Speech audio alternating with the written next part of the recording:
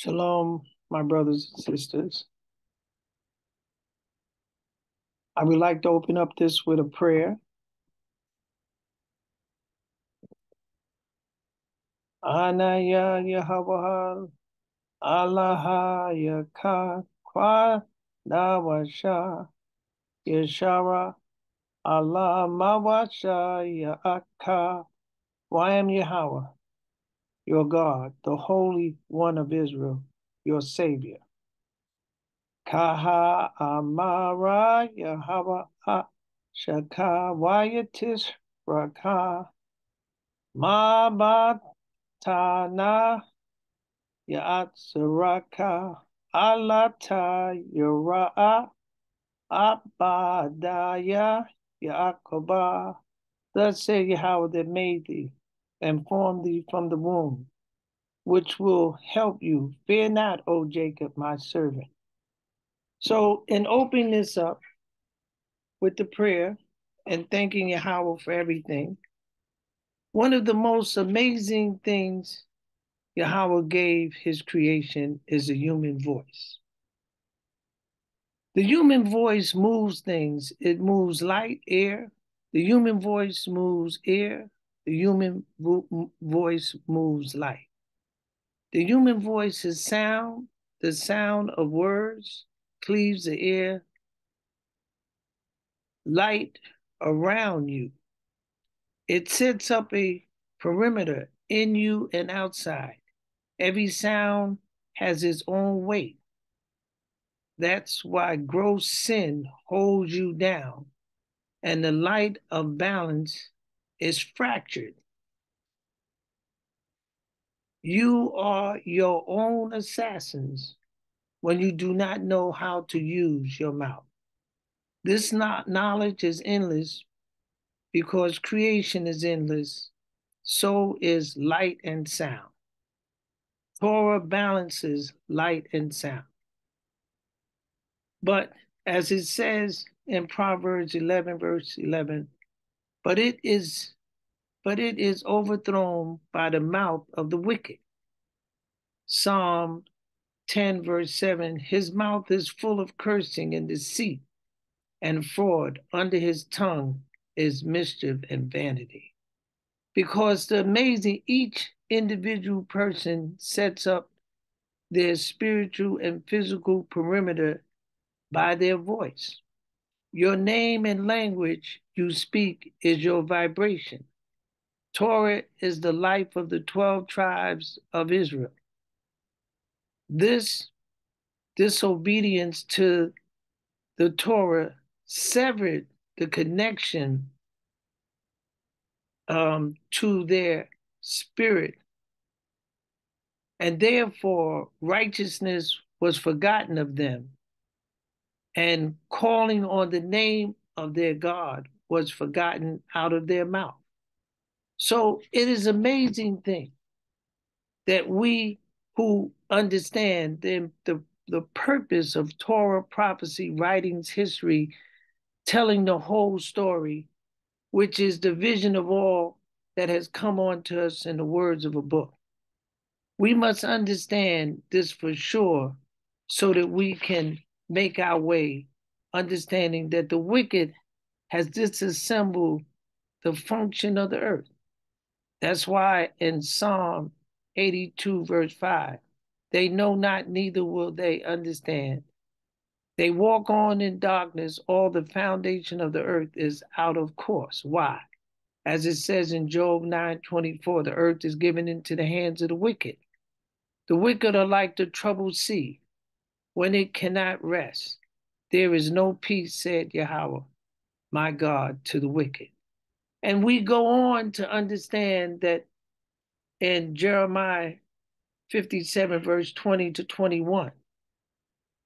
It says, As the words of Yahweh is indestructible, so are the 12 tribes of Israel. As it says in Apocrypha Ecclesiastes chapter 37, verse 25.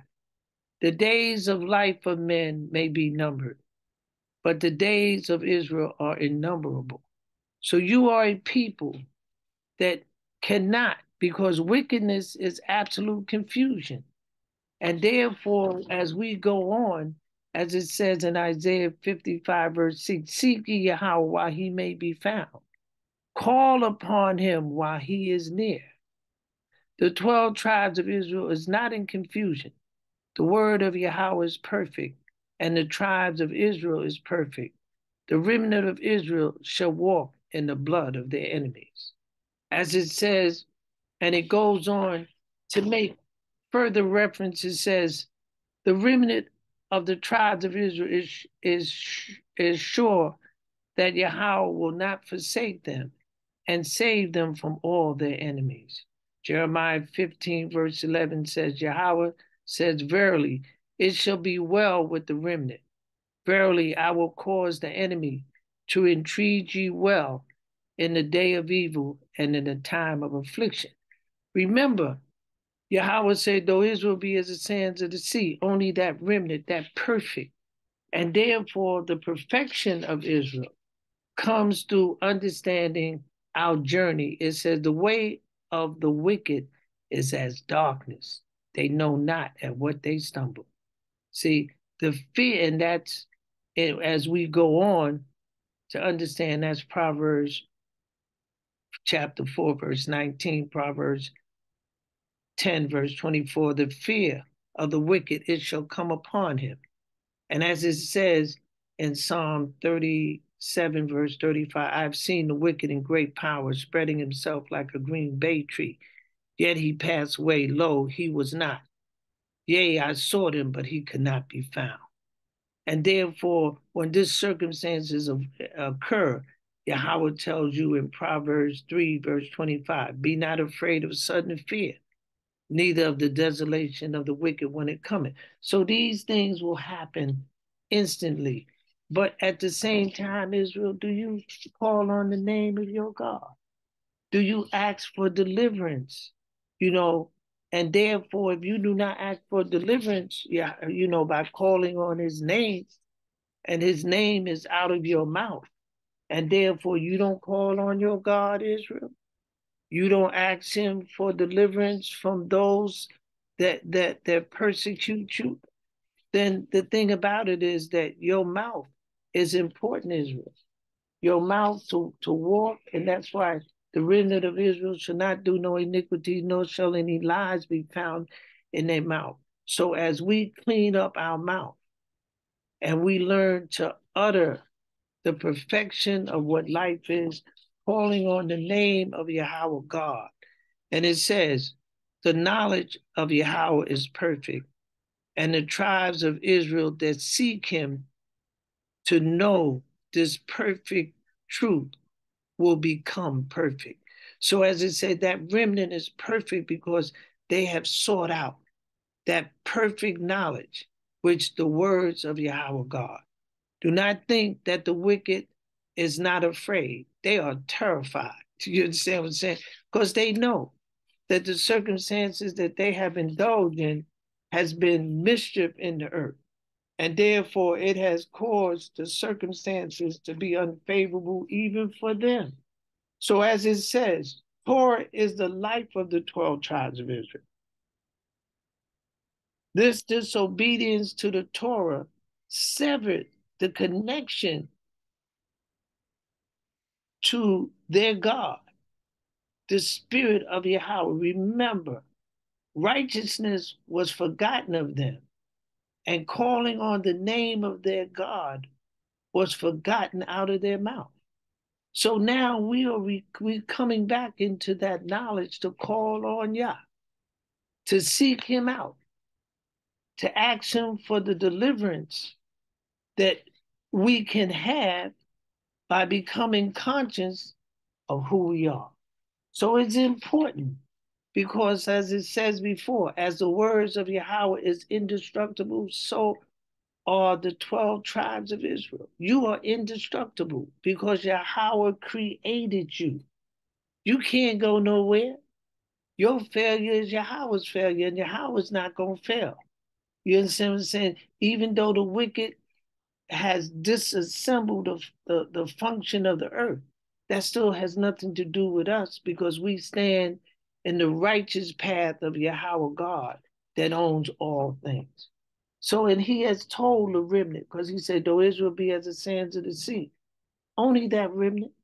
He said, the remnant of the tribes of Israel is sure that Yahweh will not forsake them and save them from all their enemies. See, Yahweh, we are sure. It says, as Yahweh said, verily, it shall be well with the remnant. Verily, I will, will cause the enemy to entreat you well in the time of evil and in the time of affliction. These are the things, my brothers and sisters, that you must take close to you and hold them. You must know to lift your voice up so that you will understand that Yahweh, it says, Kahamara Yahweh Baraka Yaakova Wayatis Raka Yashara Allah Alata Yura'a Kayaga Alata Yaka. But now thus said Yahweh that created you, O Jacob, and he that formed you, O Israel, fear not, for I have redeemed you. These are the things we must hold very dear because there's a mischief in the earth, a very evil mischief. And therefore, we have to prepare ourselves to meet it. In Jeremiah 12, verse 9, it says, My heritage is unto me as a speckled bird, round about and round about against her. You understand? It says, My heritage is unto me as a speckled bird, and the birds around her are against her. Come ye, assemble all ye beasts of the field, come to devour.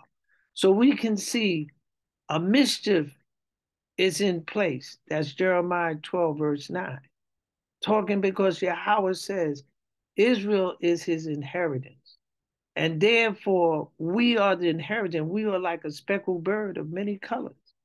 And therefore, they have come to devour, to take part of an evil, evil, evil plan. And therefore, in that plan that they have take that they have sent, we must know that Yahweh will not forsake us. So may Yahweh bless you. Ya Tisra Samawaka, the Tisra Shalomama. Shalom Kai. Kaya baka batawaka batakawa. Baya hawa ataya ata kaya baya ha ya hawa tiswara walayama. You will keep him in perfect peace, whose made name, whose mind is stayed on you, because he trusts in you, trusts in Yahweh, Yahweh's everlasting strength. Bara Barawakata ha babaka, wabarawakata ha bat ataka. Blessed shall you be when you come in, and blessed shall you be when you go out. Allah kalaya. Yawatis ralaya kalaya tislaha. No weapon that is formed against you shall prosper. May Yahweh bless you in your goings and your comings, and may you lift up. Ayanakaya Hawala Hayanawa. Ayanakaya Hawadawa Nayanawa. Ayanakaya Hawa Malaka Nawa. Maya Ayanakaya Hawa Mawashaya Atnawa. There's none like Yahweh our God. There's none like Yahweh our Lord. There's none like Yahweh our King.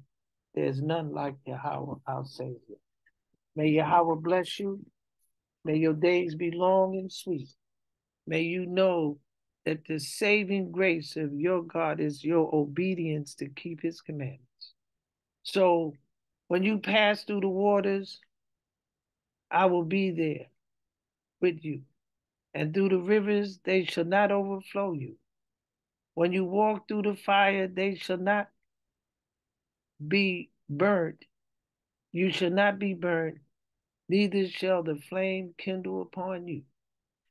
I will bring you, I will bring the blind by way that they know not. I will lead them in the path that they have not known. I will make darkness light before them and crooked things straight. These things will I do unto them and not forsake them. Hold on to these words. These are divine words. And may your days be sweet and know that the universe and all that is can ever be is yours to have. You've been created by the living God. He has created you for his glory.